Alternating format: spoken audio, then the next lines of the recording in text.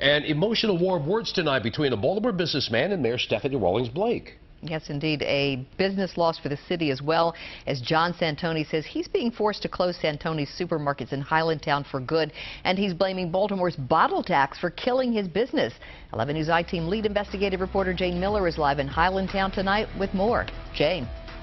Donna, the sign says it all behind me, your neighborhood grocer since 1930. But not anymore, says Santoni CFO Rob Santoni. He's shutting down the business all because of the city's bottle tax.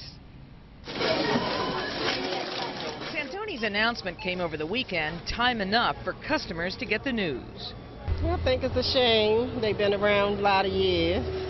Located in Highlandtown, Santoni's was a rare breed in the grocery business, not part of a big chain, and trying to remain a full-serve store. It's going to be a loss for me, a loss for them. You live nearby? Around the corner. CFO Rob Santoni blames one thing, the city's five cent tax on soda and bottled water. You know, we are no longer competitive on, on beverage pricing and can no, no longer afford to absorb the um, you know bottle tax and not look like we're we're uh, pricing ourselves out of the market. It is our number one front page um, item in our ads. That is the customer attraction. That's you know, one of the big reasons that they, they choose a certain market to shop at. Santoni says the taxes cost him 3,000 customers a week and $4 million in sales over the past three years. He dismissed increased competition as a factor. As Southeast Baltimore has developed, so has its grocery market, with a Shoppers Grocery not far away, the Safeway in Canton, and Whole Foods at Harbor East. Just last week, Target opened at Canton Crossing with a grocery store. A new Harris Teeter wants to set up shop there as well.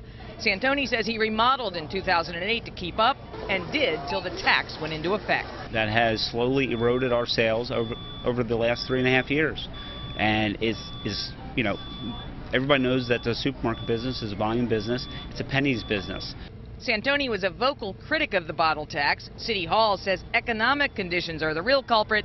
Regular customers see both sides. I know that the economy in this area is not you know, very good, so it probably is hurting them a lot.